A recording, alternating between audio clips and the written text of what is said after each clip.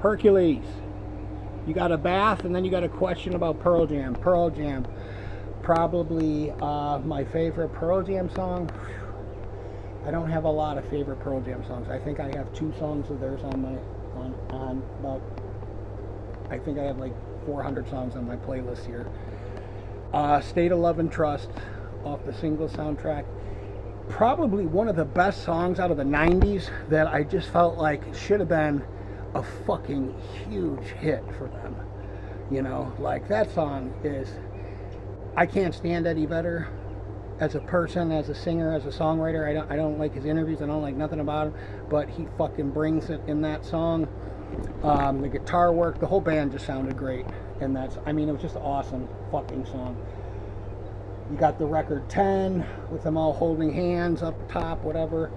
Um, I had a theory about what Pearl Jam um, is. I believe it to be, um, I believe it to be semen.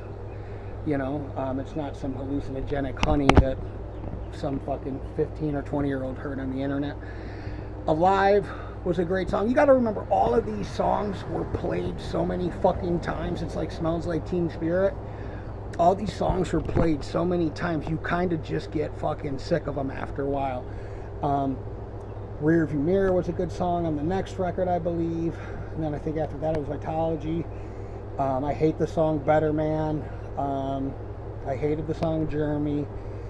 I loved the song Black when I first heard it. Really good. You know, I felt like that was a really good song.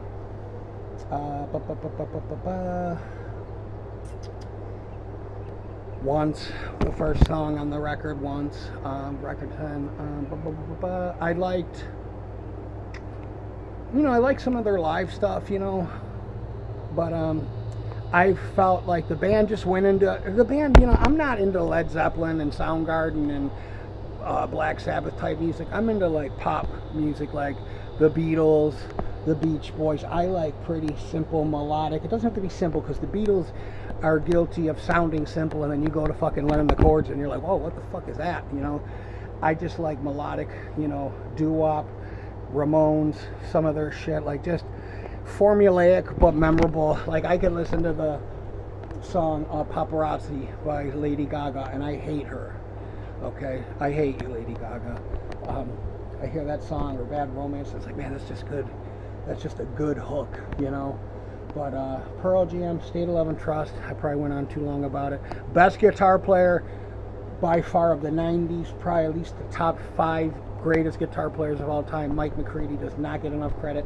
Seeing, just hearing, seeing those live videos, and fuck, man, I mean, that dude is a monster on the guitar, okay? I, I just like, I like his energy.